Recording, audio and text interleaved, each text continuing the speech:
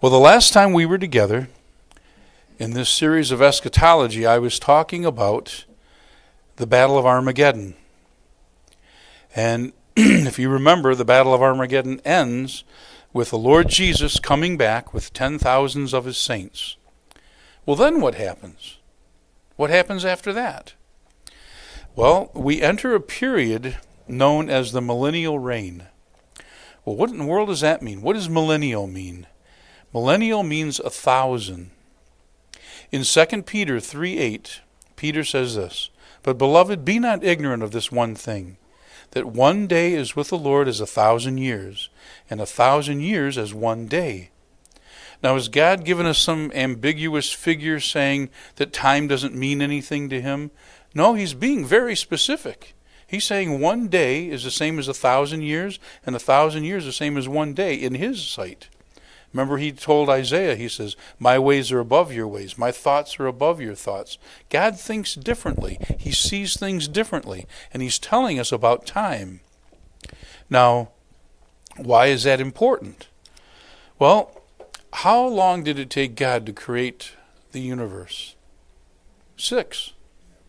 And on the seventh day, he created something called rest. On the seventh day, he rested. Why? Because he was tired? No. He created this thing called rest because he wants us to work six days and rest one day, have a Sabbath day. Well, if you think of six days or seven days, that one week period, as 7,000 years instead of seven days, it's been 2,000 years from Adam to Moses, 2,000 years from Moses to Jesus, 2,000 years from Jesus to today. That's 6,000 years. And then after that, there's a one day period known as the millennial reign, another thousand year period, so 7,000 years or seven days to God. So he created the whole universe in six days, rested on the seventh, and he let man work out his whole history in 6,000 years and rested on the seventh thousandth year period. Well, what happens at the end of a week? A new week starts, right? That's why eight in the number of thematics, eight is the number of new beginnings. So after that one week, a new week starts. Well, after this millennial reign, then a whole new program that God's got in mind starts to happen. In Revelation chapter 20, I'm going to start at verse 2 and I'm going through verse 7. He tells us this is how we know it's going to be a thousand years. It says, He laid hold on that dragon, the old serpent, which is the devil and Satan. In case you're wondering who he's referring to, that's just about every name you can have for him except maybe Lucifer and Beelzebub. He says he grabbed this guy and he bound him for how long? A thousand years. And cast him into the bottomless pit and shut him up and set a seal upon him that he should deceive the nations no more until the thousand years should be fulfilled. There's that thousand years again. And after that, he must be loosed a little season. It says he must be loosed. There's a purpose. There's a reason that he's going to be loosed. It's not that the devil, after a thousand years, figures out a way to escape, or the devil picks the lock and gets a bunch of other demons to help him and they break free. No, it's part of God's plan. God knows that's going to happen even before it happened. It's part of the plan. It must happen that he's going to be loosed for a little season. Well, why in the world would God do that? I'll tell you in a little bit. And he says, And I saw thrones, and they sat upon them, and judgment was given unto them. And I saw the souls of them that were beheaded for the witness of Jesus, and for the word of God, and which had not worshipped the beast, neither his image, neither had received his mark upon their foreheads or in their hands. And they lived and reigned with Christ a thousand years. But the rest of the dead lived not again until the thousand years were finished. This is the first resurrection. Blessed and holy is he that hath part in the first resurrection.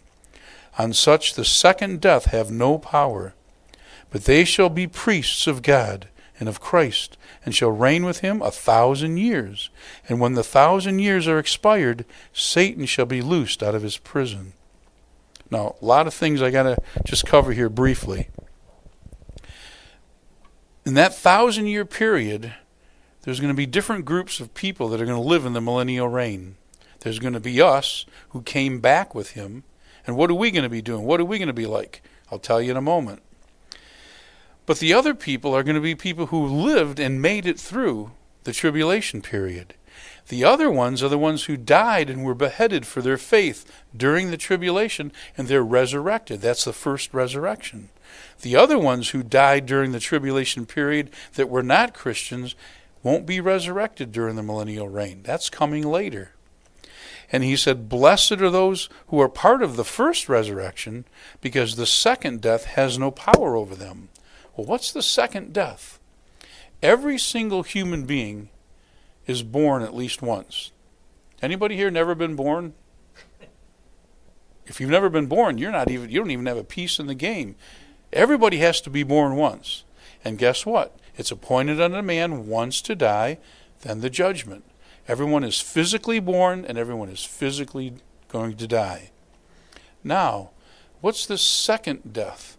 Remember, Jesus said you must be born again, or else you can't even see the kingdom of heaven? There's a spiritual birth and a spiritual death. Everybody is physically born once and physically dies once. But spiritually, you're either going to be born again or you're going to die a second time. I've been born again. So I'm never going to die spiritually the second death. Now, if Jesus doesn't come back, I am going to die physically.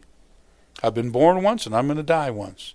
But spiritually, because I chose to be born again, I don't have to die spiritually a second time. But those that have not been born again will die spiritually a second time. That's called the second death. And John is saying here, blessed are those who um, the second death has no power over them. So, how does this millennial reign? How does it actually happen? How is it going to take place?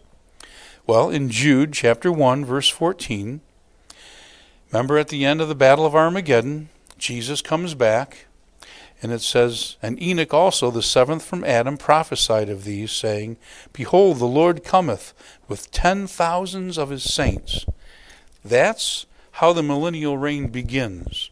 When the Battle of Armageddon ends, the millennial reign begins. Now, we talked about before how in the rapture, Jesus comes and we meet him in the air. There's three heavens. Remember what Paul said? He said he ascended into the third heaven and saw things that's not lawful for man to repeat. The first heaven is the earth's atmosphere the ionosphere, stratosphere, all those. The second heaven is the physical universe where the celestial bodies revolve. The third heaven is where God lives outside the physical universe. Because Isaiah says, God says, yep, the universe is about that wide, the span of his hand. God lives outside the physical universe in the third heaven. But when Jesus comes back the first time, he's in the earth's atmosphere, and we meet him in the air and so shall we ever be with him. But now, when he comes back with ten thousands of his saints, he's going to land his feet on the Mount of Olives.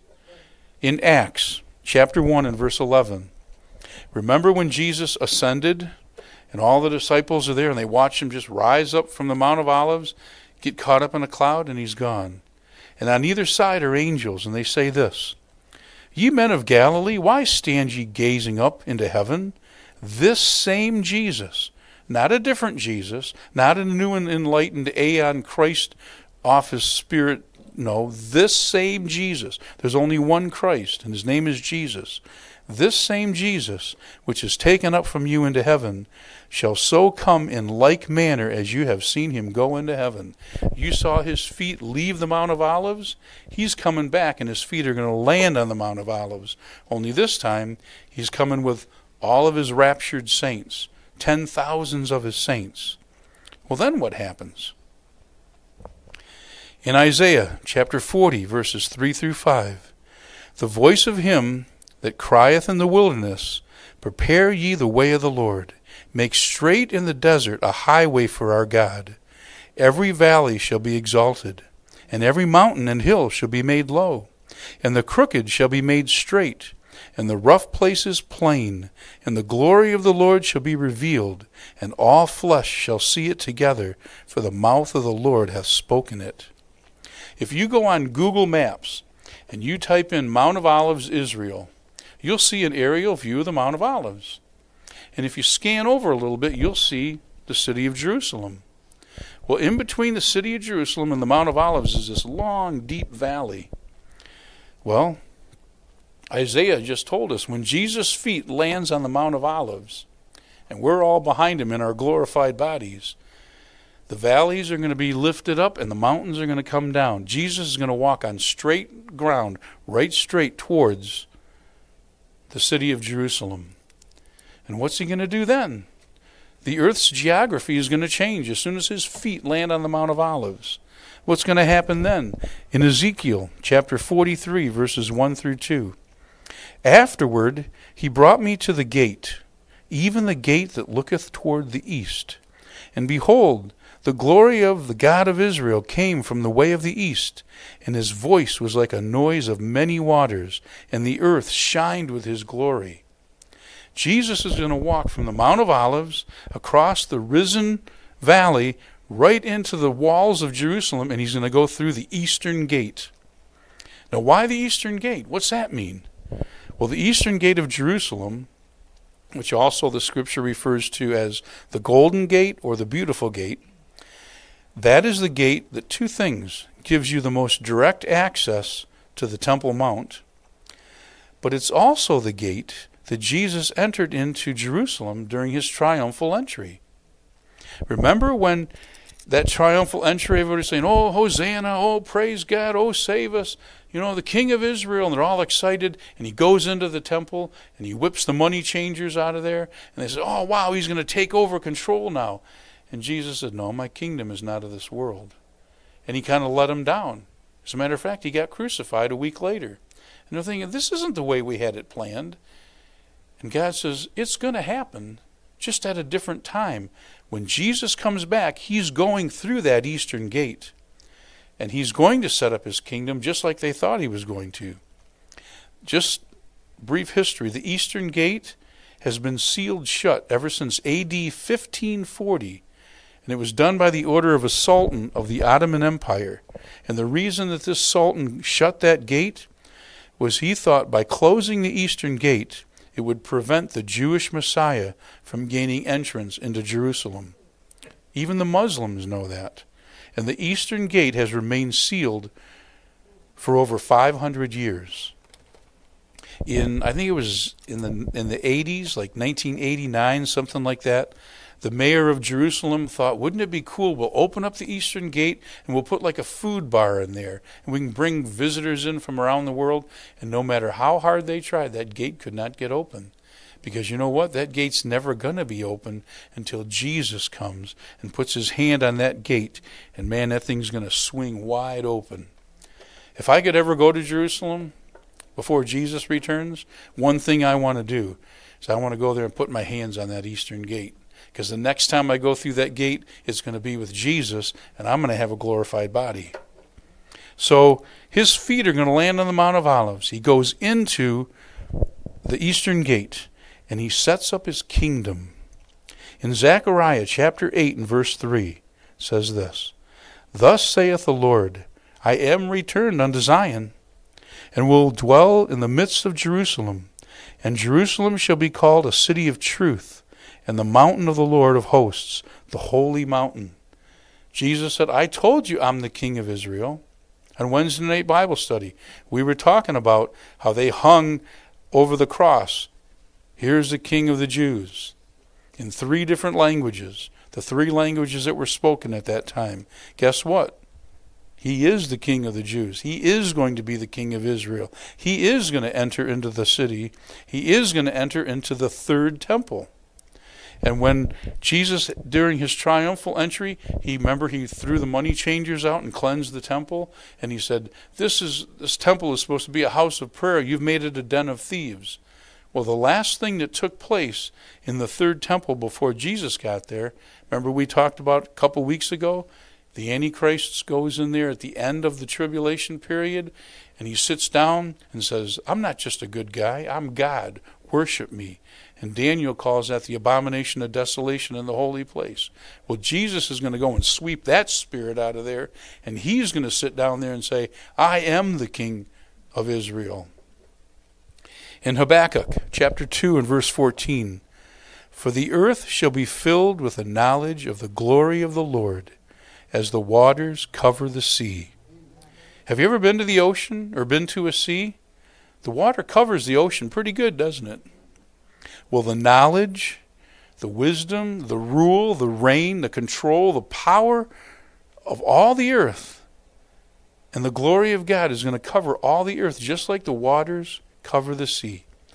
It's not going to be a democratic rule. It's not going to be a Republican rule, a conservative, a liberal, uh, a communist, a fascist.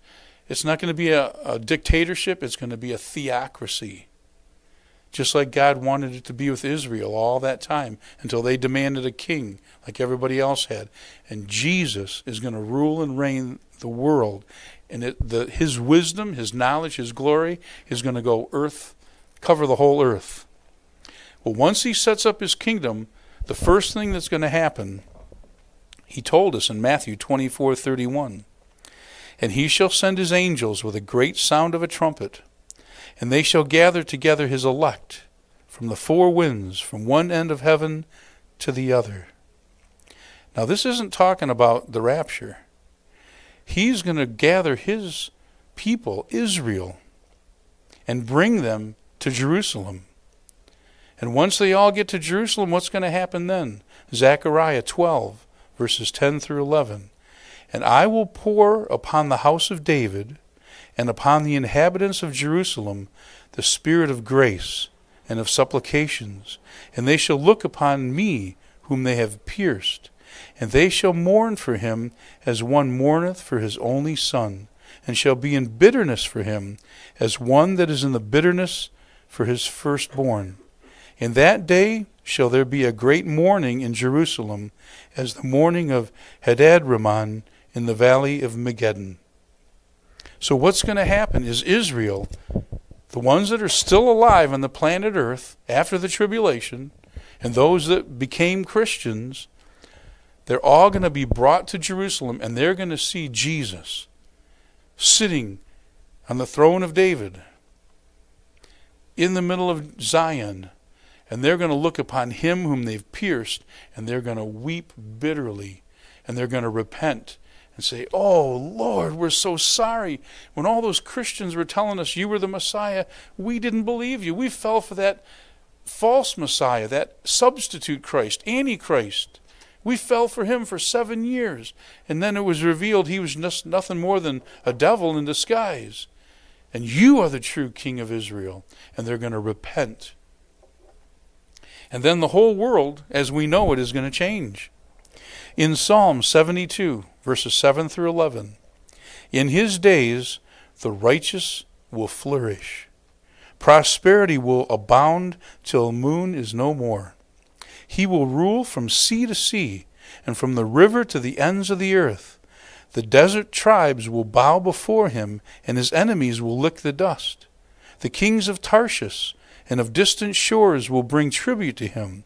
The kings of Sheba and Seba will present him gifts. All kings will bow down to him, and all nations will serve him. Those that are still alive, that made it through the tribulation period, are all going to come to Jerusalem because the word, I mean, they're going to see the world change the geography of the world is going to change. And a few more changes I'll read to you in a moment. And they're going to say, something's going on, and Jesus is back. And they're going to go see him. And every king, every leader, every ruler is going to bow down and say, No, no, no. You are the king of all kings. You are the Lord of all lords. And all the world is going to flourish and be prosperous because Jesus is in control in Micah chapter 4, verses 2 and 3. And many nations shall come and say, Come, and let us go up to the mountain of the Lord, and to the house of the God of Jacob, and he will teach us of his ways, and we will walk in his paths. For the law shall go forth of Zion, and the word of the Lord from Jerusalem. And he shall judge among many people, and rebuke strong nations afar off. And they shall beat their swords into plowshares, and their shears into pruning hooks. Nation shall not lift up a sword against nation, neither shall they learn war any more. For a thousand years, every handgun, people want to get rid of guns and gun control. You know what? They're going to melt them down and turn them into pruning hooks and plows because everybody's going to be given their plot of property and they're going to grow, you know, rutabagas and turnips and whatever you want. And I'm going to have so many rutabagas, I'll go over to your house and say, Here, I'll trade you for a bushel of wheat. And it's going to be so magnificent. It's going to be flourishing the way it should be. And nobody's, I'm not going to want to fight you anymore. There's going to be no more war. And people are going to say, let us go to the house of God. You know, the Muslims have to go to Mecca at least once in their life and do a jihad. in America, if you're a white Anglo Saxon America, American, you have to go to Disney World at least once in your life. It's just an unspoken law, right?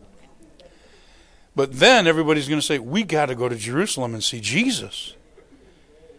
And Jesus is going to be sitting on the throne and he's going to teach. It says he's going to teach all the world, teach his ways from the mountain of the Lord. Now, here's some other changes that take place in the world Isaiah 65 18 through 25. But be ye glad and rejoice forever in that which I create. For behold, I create Jerusalem a rejoicing, and her people a joy. And I will joy in Jerusalem.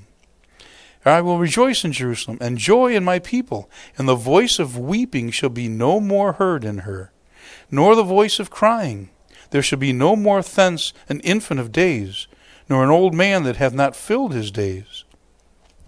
For the child shall die a hundred years old, but the sinner, being a hundred years old, shall be accursed. And they shall build houses and inhabit them, and they shall plant vineyards and eat the fruit of them. They shall not build and another inhabit. They shall not plant and another eat.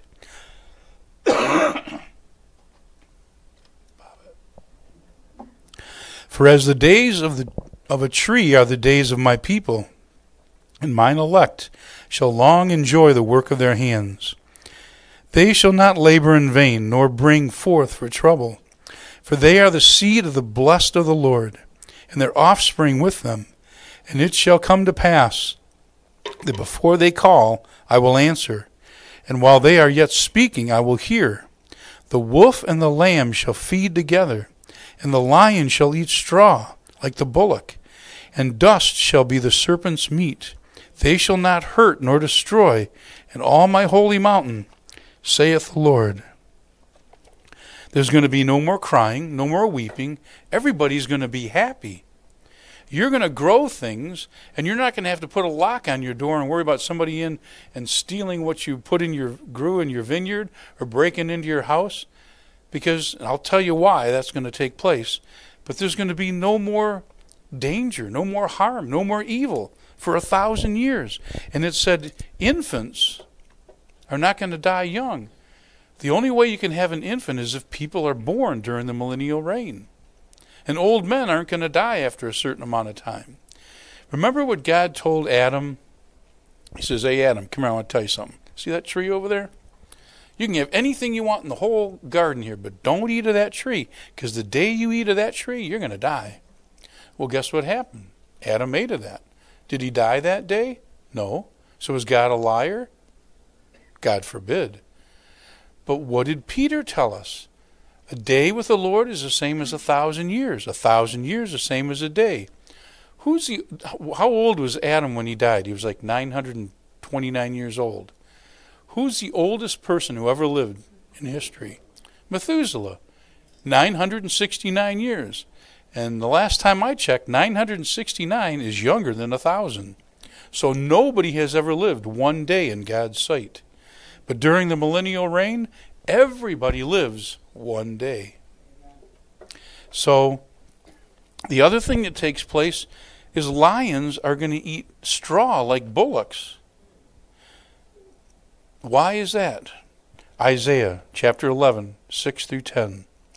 The wolf also shall dwell with a lamb, and the leopard shall lie down with a kid, and the calf and the young lion and the fatling together, and a little child shall lead them. And the cow and the bear shall feed. The young ones shall lie down together, and the lion shall eat straw like the ox, and the sucking child shall play on the hole of the asp, and the weaned child shall put his hand on the cockatrice den. They shall not hurt nor destroy in all my holy mountain, for the earth shall be full of the knowledge of the Lord, as the waters cover the sea. And in that day there shall be a root of Jesse, which shall stand for an ensign of the people. To it shall the Gentiles seek, and his rest shall be glorious. When Jesus lands his feet on the Mount of Olives, the geography of the earth is going to change. The politics are going to change. It's now a theocracy. The agriculture is going to change. Everybody's going to be able to grow and flourish. But not only that, the animal kingdom is going to change. Remember in the eighth chapter of Romans, Paul says, All of creation groaneth for the day of his return. When you watch National Geographic and you see that lion hiding in the weeds and jump on that gazelle and rip him apart and eat him, that lion's saying, I don't want to do this, but I got to. Because the sin nature has affected even the animal kingdom. But in the millennial reign, little kids are going to go ride on lions just like they would on a donkey. And little kids are going to be able to play with a poisonous snake and they won't get bit. There's no more poison. The animal kingdom is going to change. It's going to be wonderful. So, what are we going to be doing? the people that died during the tribulation that were not Christians, that did not go along with God's plan, that did take the mark of the beast, they're all dead. They're in the center of the earth.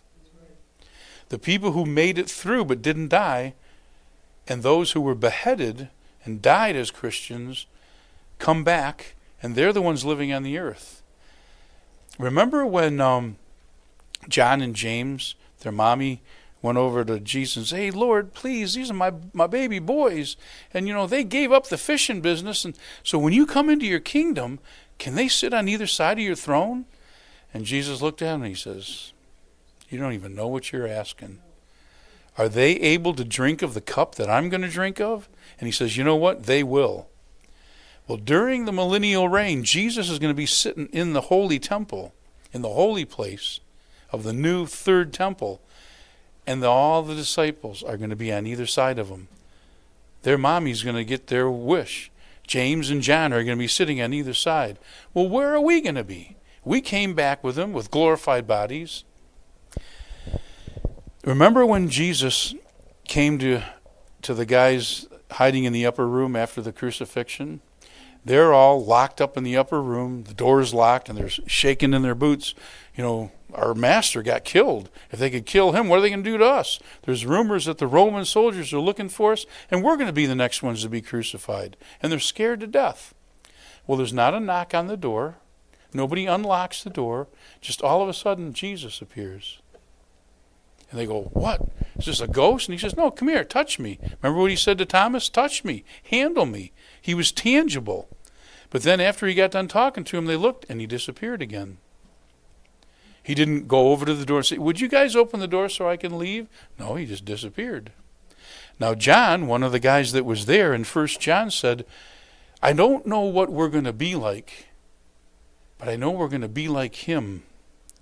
Jesus, anytime he wanted to, could appear and disappear and go places at the speed of thought. He could be on the road to Emmaus, they break bread, he's gone. He's over in uh, the upper room, he's gone.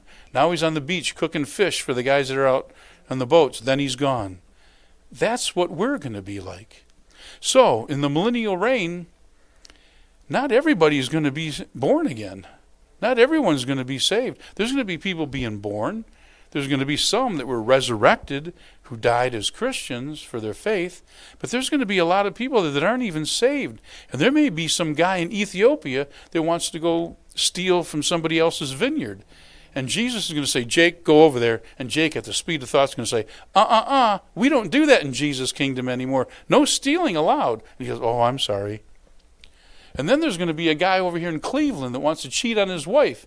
And Jesus is going to say, Gary, go. And Gary's going to go over there, uh uh uh, we don't do that in Jesus' kingdom, remember? Oh, I'm sorry. And then he goes back to his wife. We're going to be the spiritual policeman. Now, how do you know that? 1 Corinthians chapter 6 and verse 3. Know you not that we shall judge angels? How much more the things that pertain to this life? You know why fallen angels hate us so much? One, because we're created in the image of God. Two, because God loves us so much. And three, because they know someday we're going to judge them. And they hate us. Hate us beyond description. But before we judge them, we're going to be the spiritual police on the planet Earth. Because we're going to come back with glorified bodies, riding that white horse. Can't wait to get that hair out of my eyes when it's flapping in the wind. So I'm riding my white horse. And then, just like, remember what Jesus said? If anybody hurts one of these little ones, their angels behold the face of God daily. What angels do is every day they go to the throne room Remember the beginning of the book of Job when all the sons of God came to present themselves to God? The angels go to the throne room and see the commander in chief and say, What do you want us to do? And he gives them their command for the day. And they go out and they either fight in the heavenlies or they come down here and they're ministering spirits to help us. They do what they're supposed to do. During the millennial reign, we're going to go to Jerusalem and see Jesus sitting on the throne, the commander in chief, say, Lord, what do you want us to do? uh, Dave, I need you to go to uh, Philadelphia because there's somebody that's thinking about um, breaking into somebody's house. And I go over there, uh uh uh, not in Jesus' kingdom. We don't do that anymore. And that's what we're going to be doing for a thousand years. It's going to be paradise. There's going to be no evil. It's going to be almost like the Garden of Eden. It's going to be wonderful. I can't wait and we'll be able to see Jesus anytime and ask him questions. And he'll answer all of our questions. And people are going to come from all over the world to sit at the feet of Jesus and be taught by him. But what's going to spoil it? What's going to change it? Why won't it last forever? Remember Revelation 20, verse 3? And they cast that devil, the old serpent, in the bottomless pit and shut him up and set a seal upon him that he should deceive the nations no more until the thousand years should be fulfilled. After a thousand years, what's going to happen? And after that, he must be loosed a little season. So the devil, the same angel that chained him in that pit's going to come out and say, "Okay, Bucky boy, your time's go. You, you can go. Get out of here." And he's going to fly out like a bat out of hell. Forgive the term, but that's where that term comes from. And then what's he going to do? Revelation 20, verses 8 through 9. And he shall go out to deceive the nations which are in the four quarters of the earth, Gog and Magog, to gather them together to battle, the number of whom is as the sand of the sea.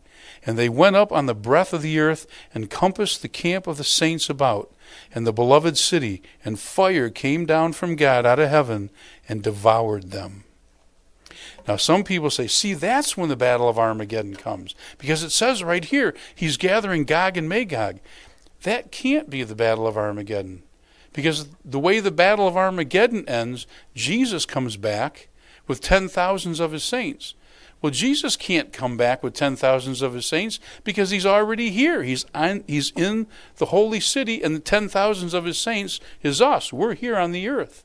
So what he's going to do is when he gets out of there, he's been plotting and planning and scheming for a thousand years. When he comes out, he's going back to that old honey hole, good old Gog and Magog. Come on, guys, let's get stirred up. And you say, why in the world would anybody, after being with Jesus for a thousand years and living in this paradise, why would they ever decide to go with the devil? Well, think about it. Not everybody in the millennial reign is born again. Not everybody is a Christian, is a follower of Jesus, has the Spirit of God living in them. What if you wanted a cigarette for a thousand years? What if you wanted a drink for a thousand years? And the devil comes along and says, Guess what? Yeah, it's pretty cool around here, but Jesus, aren't you tired of having him and these these saints flying around telling you what you can and can't do? You get one more chance to do whatever you want. Come on, follow me. And they're going to go for it. They're going to go for it. But it's not going to last. It's only for a little season. And God's going to say, that's the end of the story. So I just read to you Revelation 20, verses 8 and 9. Listen to what Revelation 9, I'm sorry, 20, verse 10 says. And the devil that deceived them was cast into the lake of fire and brimstone. Now, see, that's why it can't be the Battle of Armageddon. Because at the Battle of Armageddon, he's cast into the bottomless pit for a thousand years. This temptation, he's thrown into the lake of fire and brimstone, where the beast and the false prophet are already are. At the Battle of Armageddon, the the Antichrist and the false prophet are right there in the middle of the battle. Now they're already in the lake of fire. The devil gets thrown in there, and they shall be tormented day and night forever and ever. Now, I don't have a lot of time to go in this, but just a side note there's a lot of teaching out there that's called annihilationism. Some believe that, you know, once you're thrown in the lake of fire, then you don't exist anymore. Do you remember what you were doing before you were born? Of course not. Well, you won't remember what happens to you after you die. But this says they're tormented day and night forever and ever. There's no such thing as annihilationism. I wish that wasn't true. But when God creates an eternal soul, it stays eternal. And we get to choose where we want to spend our eternity with Him or away from Him. The other teaching that's out there is don't worry, it's called universalism. Eventually, everybody gets saved. You know, because Jesus will throw you in the lake of fire if you've been a bad boy. And after you're down there burning for a little while, you say, you know what? I've been thinking about it. I think I'll get saved.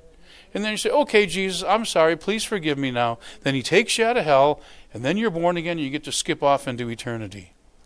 Well, if that was true, there's two ways to get to heaven. You can just get born again and give your life to Jesus, or you can live like the devil. And as soon, you know what I would do if that was the case? I just go do whatever I want. And as soon as I die, as soon as my toenails touch that flame, okay, I changed my mind now. I want to be a Christian. I, I'm changed my mind. There's no universalism. God gives everybody a chance in this earth. And people say, well, that's not fair. They get why not a second chance? He gives the whole earth a thousand years. And there's still going to be people, after seeing Jesus face to face, are going to still decide to go with the devil. So, why is God even allowing this? This little, you know, little season thing. That doesn't seem fair. Well, it's nothing but fair. Because God never goes against anybody's free will, and everybody gets a choice, gets an opportunity. You know, in the Masonic Lodge, they call the create they call their leader the great architect of the universe. You know what an architect does? An architect takes things that already exist and builds something out of it. That's the devil. Once you're in the 30th degrees and above in the Masonic Lodge, you realize that you're getting your seething power from Lucifer, the great architect of the universe. But God is not an architect, He's a creator. He builds things out of nothing. The devil can't create anything, he can only rearrange and change things that God's already put into existence. Now, God is the most massive, awesome colossal, mind blowing. Uh, there's not enough adjectives to describe what a genius God is and what an incredible builder He is. Let me ask you a question. You're going to build a beautiful skyscraper. Are you going to lay down some, you know, wood and straw and hay and stubble and then spend billions of dollars on all the, the, the beautiful ornate work of the skyscraper made out of steel and cement and you know, stained glass and all that, because as soon as you're done with your skyscraper and there there's a hiccup, the thing's going to come crashing because the foundation is no good. Well, God has a plan. After that seven weeks, or that 7,000 years is over, God's got a plan. But any good builder is going to test his foundation first. And all of this, all this whole seven weeks, You know, people say, oh, well, the devil, you know, ruined God's plan. No, God never went against Lucifer's free will, and he used him as an aggregate to get his will done. He's testing all of us. That's why Paul says the trying of your faith is more precious than that of even gold. In 1 Timothy, I'm sorry, 2 Timothy chapter 2, verses 19 through 21, Paul says this Nevertheless, the foundation of God standeth sure, having this seal The Lord knoweth them that are his. And let every one that nameth the name of Christ depart from iniquity. But in a great house there are not only vessels of gold and of silver, but also of wood and of earth, some to honor and some to dishonor.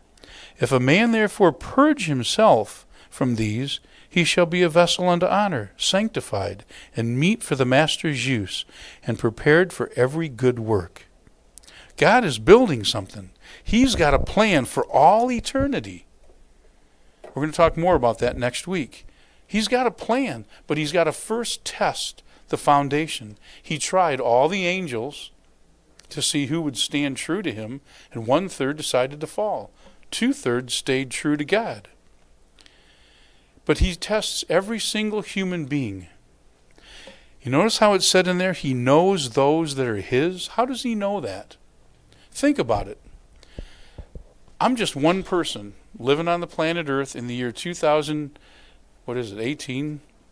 Believe it or not with 7 billion people.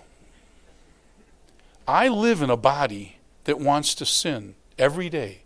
That's all it wants to do. It wants to lay in bed all day. It doesn't want to work.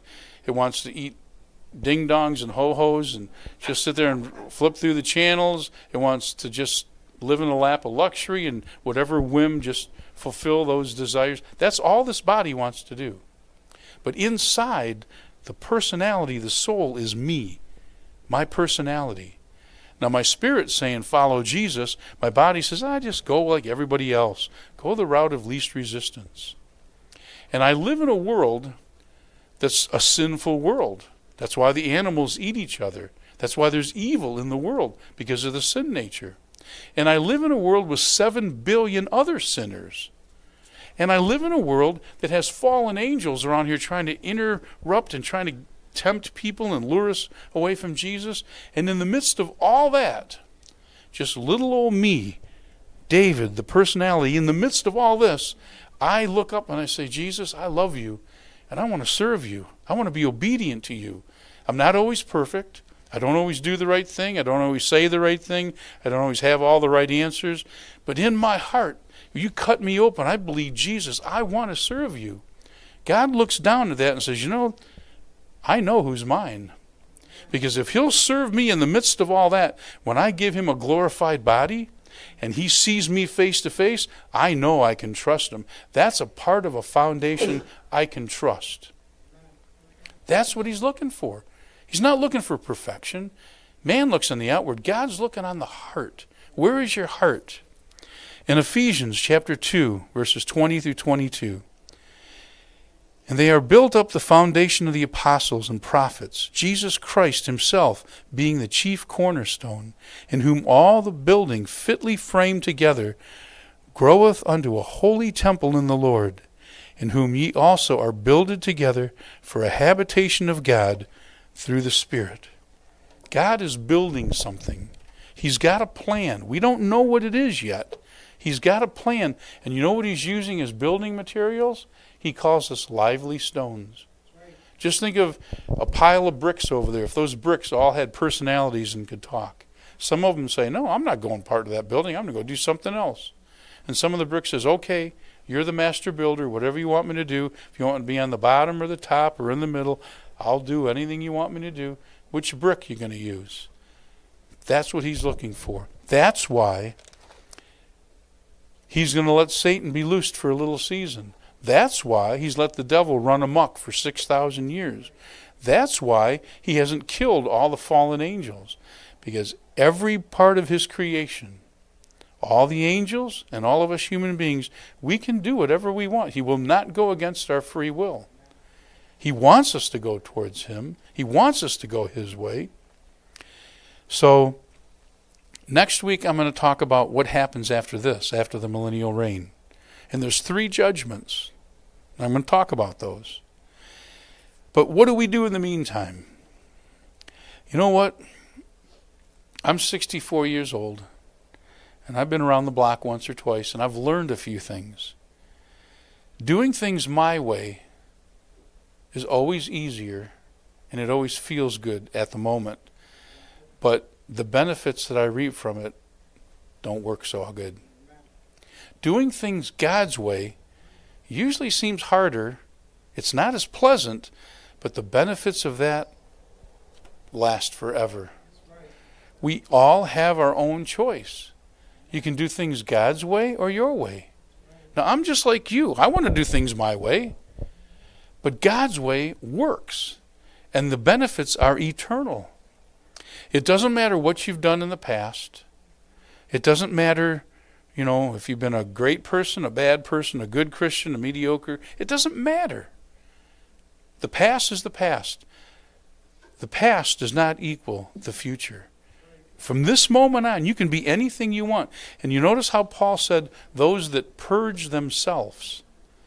Just be honest and say, God, I'm not doing so well. I want to do better. I want to line up with you. I want to be on your side.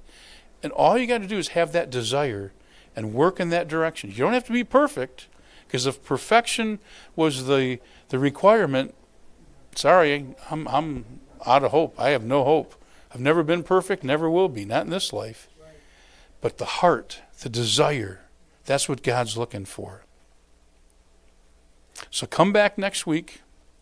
We'll talk about the three different judgments that are going to take place. And then after that, we're going to talk about something called the new heaven, the new earth, the new Jerusalem. And just we get a just a glimmer of what God's plan is that's going to last forever and forever and forever. Though I've been 10,000 years, bright shining as the sun, I've no less days to sing God's praise than when I first begun. Amen.